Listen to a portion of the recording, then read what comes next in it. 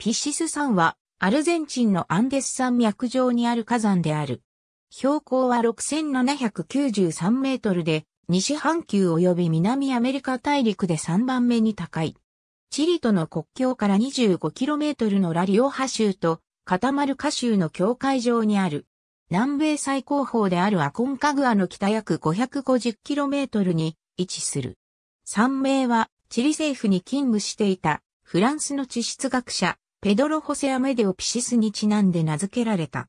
アタカマ砂漠に位置しているため、山は非常に乾燥した状態にあるが、広大な氷河があり、この地域では唯一のクレバスがある。1994年のアルゼンチン遠征隊は、当時利用可能な GPS 技術を使用して、測量を行い、ピシス山の標高は、オホスデルサラードよりも高い6882メートルであると主張した。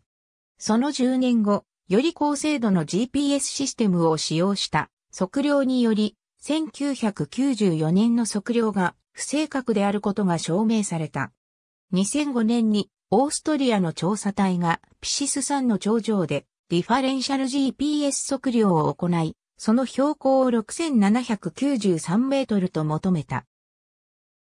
2006年には国際探検隊が山頂の標高を測量し、標高6800メートルとオーストリア隊とほぼ一致する結果が得られた。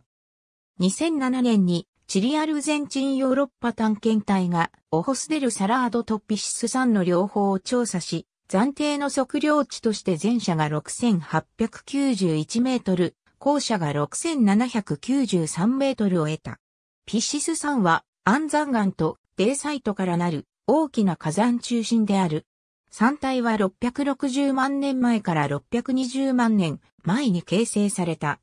セロボネテチコと同様、ナスカプレートの変形したスラブの上に形成された大きな火山複合体のうちの一つである。この地域の火山活動は約200万年前に終わった。